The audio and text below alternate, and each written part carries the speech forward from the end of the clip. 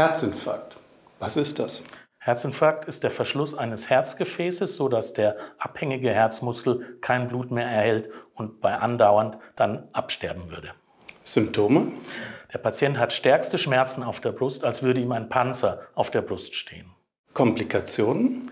Die schlimmste Komplikation ist der Herztod, also das Versagen der Herzleistung und damit der Tod des Patienten. Behandlung? Möglichst schnelle Wiedereröffnung des verschlossenen Gefäßes, möglichst innerhalb einer Stunde. Danke.